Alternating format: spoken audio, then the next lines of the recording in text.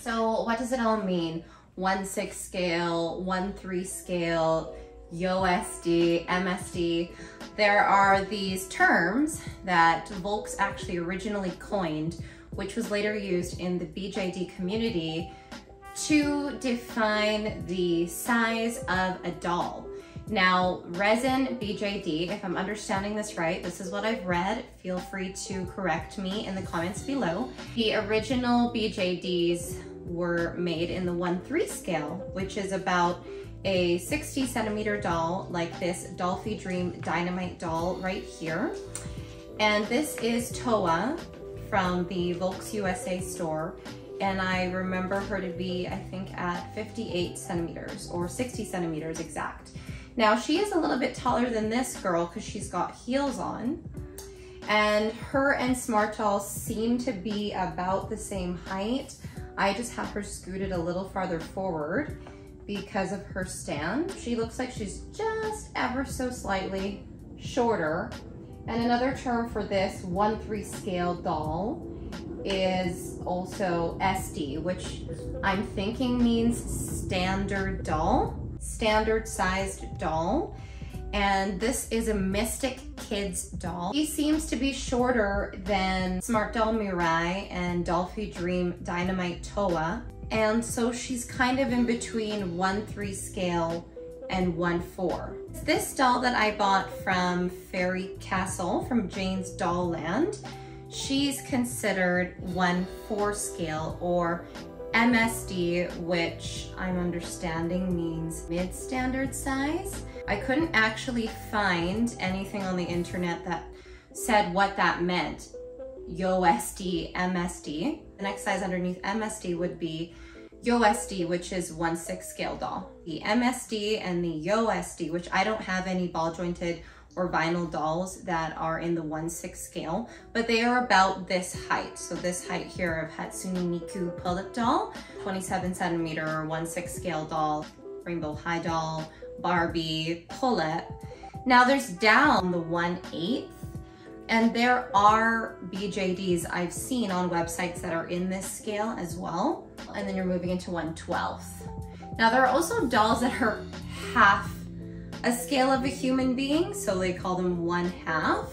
I also read, and I've seen as well, is that the MSD dolls can be either more slim or more healthier in the thighs, have thicker thighs, and that the thicker thighed MSD and YOSD, which I'm thinking means youth standard size, can either be um, thicker in the leg, denoting that they're more childlike, or more slimmer, denoting that they're teenager. In between half a scale of a human and the one three scale doll, there's also 70 centimeter high dolls, which I don't have any, and I've seen those mostly to be male BJD, and I've now also seen both genders in that height. So that's what that all means. Those different scales mean the different sizes. These two dolls also wanted to add are vinyl dolls with articulation in their joints. And then these two dolls are official ball jointed dolls. So they have strings inside of them, which help their joints have articulation. And the string is basically what holds the doll together. And it's stretchy cord and that's why these dolls are able to pose. Pullip dolls or Pullip family dolls, which is what these three dolls are right here. So this is Pullip. This is her boyfriend's little sister, Dal. And then this is her and her boyfriend's future daughter, Yeolume. There aren't many Yeolumes. I think there was only two that they released. These dolls are considered Asian fashion dolls. I don't know what we would call rainbow high dolls or monster high dolls. Comment below what you think. Would they be commercial dolls, commercial fashion dolls, uh, retail fashion dolls, North American fashion dolls? I'm not too sure. You also have different scaled things like their accessories, their cameras. So when you're shopping for furniture or clothing, these terms can be a good indication of what you're trying to find. I found on clothing stores online, they used these terms, SD, MSD, and I actually didn't really know what they meant until recently. So American Girl dolls, or the My Generation, I believe they're called, they're 1-4 scale, and they're supposed to be babies or, or toddlers. I bought this chair thinking, oh yeah, that would fit for Pullip. But then I tried to put a Pullip doll in this chair and it just was a huge chair on her. Now I'm thinking this chair might work for these two girls, but I tried it with Toa and again, it was just the legs were too short. So it gets a little bit tricky with buying furniture. Some furniture that is to scale of your doll will work and some won't. I bought this camera for Toa, got this cute little plate, which is a 1-6 scale Re-Ment, and it looks like it is appropriate for the size of Pullip. So Ayumi being a MSD is technically in, I would say her teenage years. And we've got the adult dolls or the adult women here in the 1-3 scale.